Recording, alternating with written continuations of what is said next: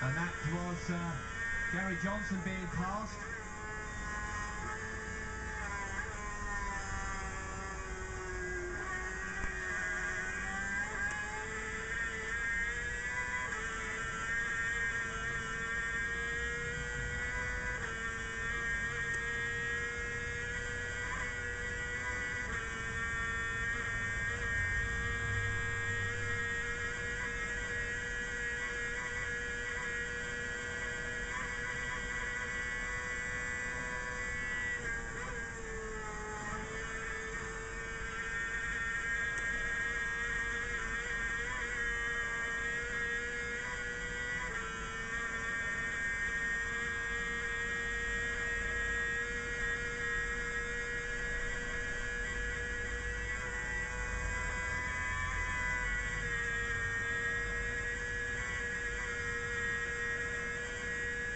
That's into Union Mills. Here's Ian Lougher again on the Yamaha number 9 machine, the Black Horse machine,